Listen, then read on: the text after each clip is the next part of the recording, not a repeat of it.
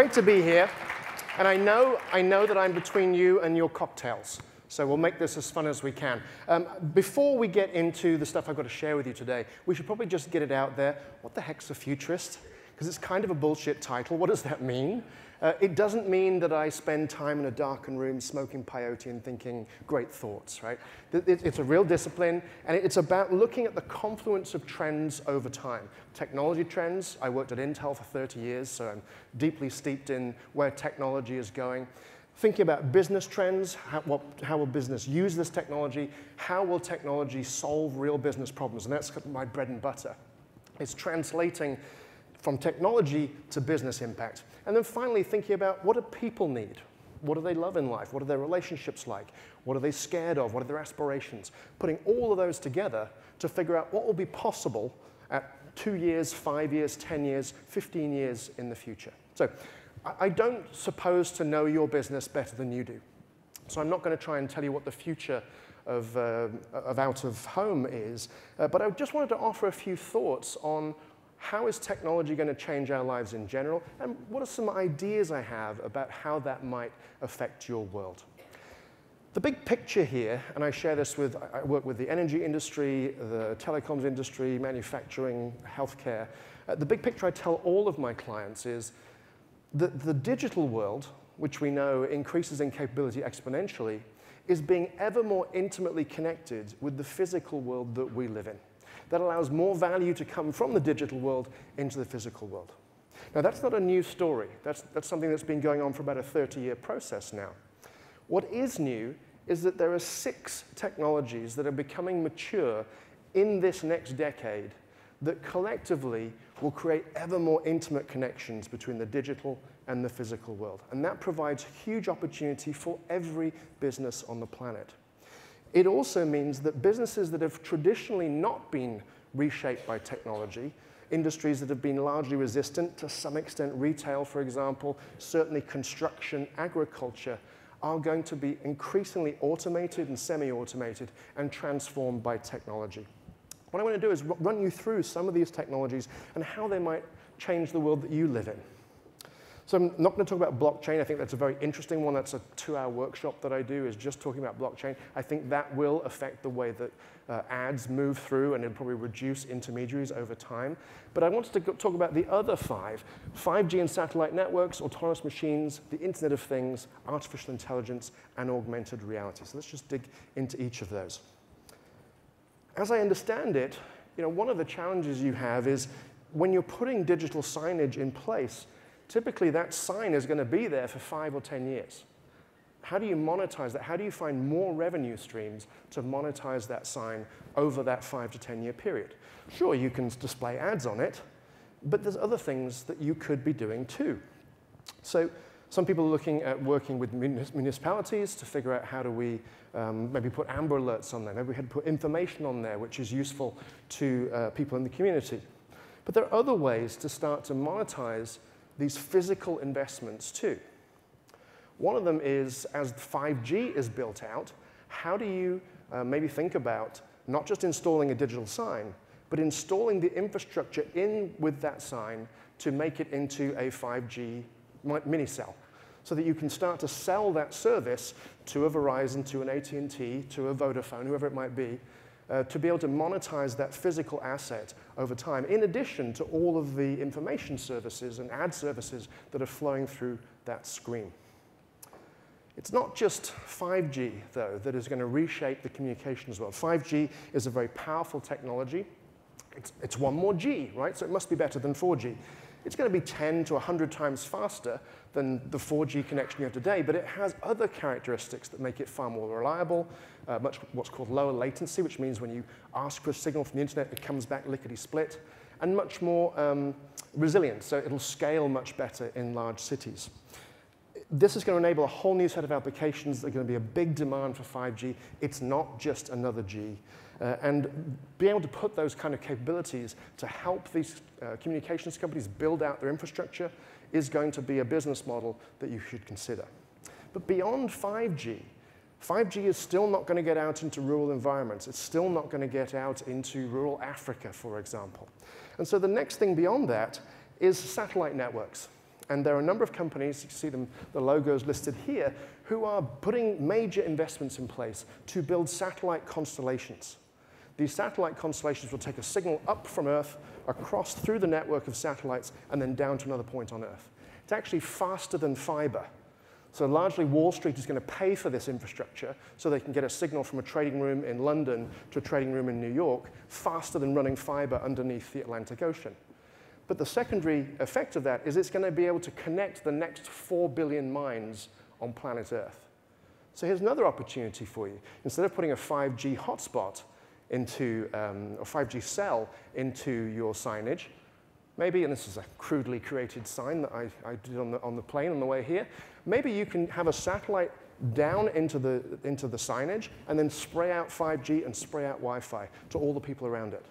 Think about the next 3 billion, 4 billion consumers in the world who are not in particularly highly connected environments, you have the opportunity now to go into those environments and be the beginnings of not just an infrastructure, but to be able to start selling messages to them, helping guide them as they develop those economies. We are on the edge of um, transportation transforming from being a hardware product that you own to a largely software-run service that you use. Autonomous vehicles going to be starting to come into market. First cars 2021. Uh, the data says that by 2030, the price difference between a, an autonomous car and like a dumb car drops to the point where they become a no-brainer, that everybody starts to just get autonomous cars. And then by 2040, almost every car on the road is autonomous. And what does that mean to everybody in this room? Well, as we're moving from A to B, we're not driving anymore. So there's other things that we want to do. And we're likely to summon the car that we want based on the thing that we want to achieve while we're in the car.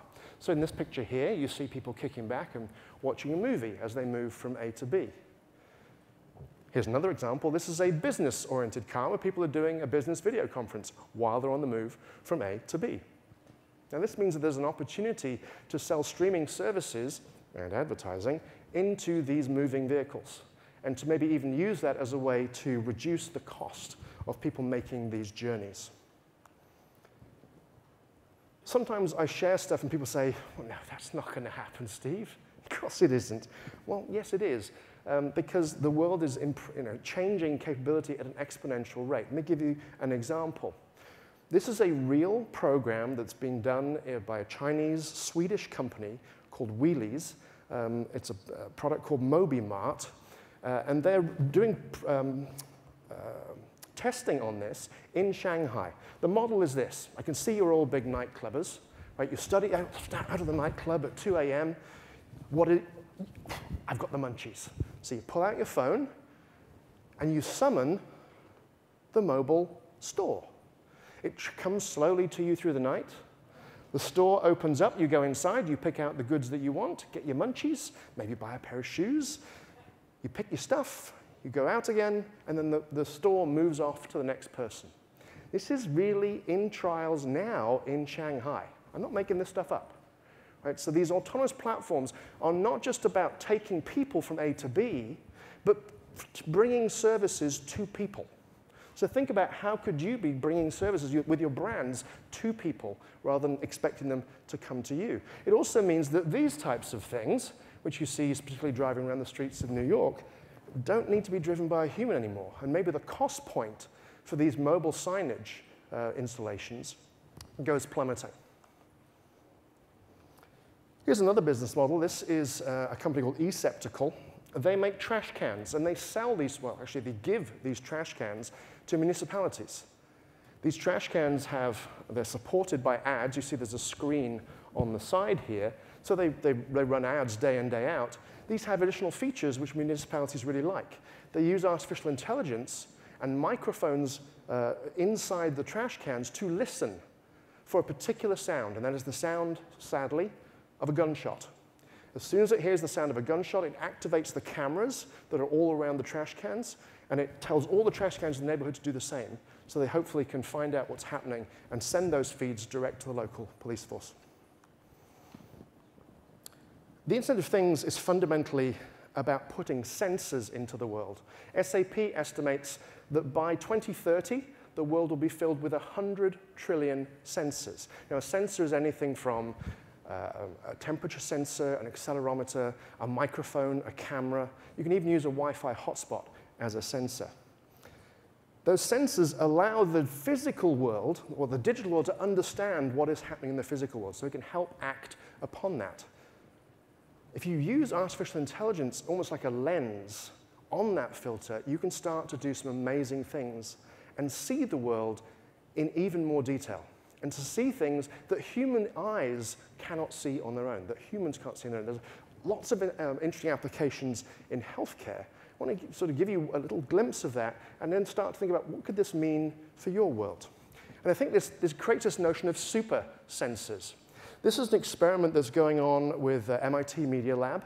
Uh, they are looking to develop a sensor for um, looking after people in assisted living. So people who are elderly, uh, living in a home, and you want to be able to watch them and keep an eye on them without using a camera, which is invasive. So this sensor you see on the wall here, just like a Wi-Fi hotspot, but a little bit less energy, about 100 times less power than a Wi-Fi hotspot. What it does is it sends out radio frequency signals and they bounce back, tend to go through walls and bounce back off people. The signal that you get back is just this messy blur. Doesn't mean anything to you or me, but you put that through an AI, you train it to understand what that signal means. And in the time we've got, I can't explain exactly how that works, but you train this AI, and it is able to pull out images of people. It's able to understand and use that radio frequency signal as a camera without it being a camera. Not only can it figure out the images of people, it can also measure their heart rates, their breathing, and in a clinical situation, in an assisted living facility, it can measure people's sleep states. It can tell if they're in REM sleep, deep sleep, and so on. So these sensors can be incredibly sensitive and give you insights and information that you would not expect. So this is sort of bleeding edge technology. I think the opportunity here is to think about from a privacy perspective, how could you use a sensor like this as a camera that would mean that these people are happy, right? You, everything that you do needs to be um, making sure that you are GDPR and uh, California Consumer um, Privacy Association uh, compliant. So this may be a way of doing that. Now, I'm a futurist, I'm telling you stuff that's coming in the future, but this is something to watch and watch closely. Final thing I want to finish up with here. How many of you have tried one of these? Virtual reality. Okay, a few of you. This guy's obviously having a great time in this photograph. Let's not ask what he's looking at. Uh, but virtual reality surrounds you with a digital world. Um, that's interesting, but what's interesting, more, most interesting to me is augmented reality, where you are blending digital content with physical reality. Now, in this case, this is technology. If you think about Wall Street, uh, I mean, the movie Wall Street with Michael Douglas, 1987, he has that scene where he has a gigantic phone as he's walking on the beach, and we all thought, wow, that's cool. Well, now it's turned into one of these things, right, a few years later. We are at that Michael Douglas Wall Street stage right now with augmented reality. The technology is not quite there yet. Apple strongly rumored to have devices in market beginning next year that will give us these types of experiences, blending digital content into the physical world that we inhabit. It means the next display is the physical world, not a physical display. It means that your next TV might be a 100 inch TV that you buy not from Costco, but a 99 cent app on the App Store. What it means is that ads can be augmented and improved over time. So you might have an ad for everybody, and then that ad comes to life and has additional personalization and interactivity added to it through the glasses. It also means you need to be paying close attention. Because as you put all of this effort and infrastructure into creating these beautiful displays, and I know the big ones cost a ton of money, the person that gets closest to the eyeballs wins. If Apple creates a beautiful pair of glasses that allows them to lay things over the top of stuff, your beautiful display can easily be edited and you can slide other ads that Apple's paying for right over the top of them.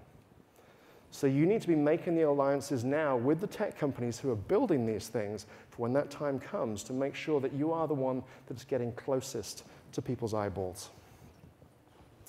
So to wrap this up, I think where this is going, we've heard a lot today about uh, programmatic stuff, making sure that uh, these displays are addressable, accountable, attributable, the three A's, right? That you can find the right person, the audience you want to get to, that you know that you reach them, and that you know that not only by reaching them, uh, but they went out and actually activated and, uh, and, and converted as a result of seeing your ads. That's clearly where the thing is going in the shorter term. Longer term, I think what we're talking about is ways to add additional services into these displays so that you can get paid and monetize that real estate in other ways. I give you the 5G example as just one example. Thinking about these displays by using sensors to not only be pushing messages out, but using that as a way to make it a bi-directional conversation, to be able to understand what is happening in the world and to pull that information in and do something interesting with it. And longer term, be thinking about the fact that your displays might start to become virtual. And if augmented reality takes off, as I think it will, uh, the same way that you know, augmented reality is not there yet, when the very first smartphones came out, people were like, eh, we'll see how that goes. And suddenly this is the primary device. This has become the remote control of modern life, right? This eventually will take over from the cell phone. And the cell phone will still be there, the same way the PC is still there. But uh, this is going to be the new world that you're going to be faced with five, ten years from now is going to disrupt the industry. As a futurist, I would be bad if I didn't tell you that. So I really appreciate your time. If you found this useful, uh, I have a book coming out early next year. That's what it's called. And uh, if you ever need to find me, that's how you find me. I'd love to help you anytime I can. So, phew, we made it. It's cocktail time. That was great, Steve. Wow, you, you and Laura kept everybody, not a person moved for the past two sessions. So, by the way, thank you, Laura, and thank you, Steve. This fabulous predicting our future. Um, how does that store move to get to you in Shanghai? It's completely autonomous. It finds its way around Just along the roads, and, like yep, an autonomous along the car. roads. Uh, there are people also just doing ones that will um, follow the pavement and follow you on the sidewalk. Wow, really? um, there are people in California. There's one that's doing a grocery store. How do you make that, that scalable? Uh, you just build more of them. yeah, I guess so. Right? You don't need drivers. It's, uh, it's Right. all autonomous. Right. Um, the only thing you need in terms of labor is people who will stock the stores. So they go back to a central depot, they get stocked. And that up they go may end up being automated too. Back up and it just throws it in. Yep. Um, this is great. We have six.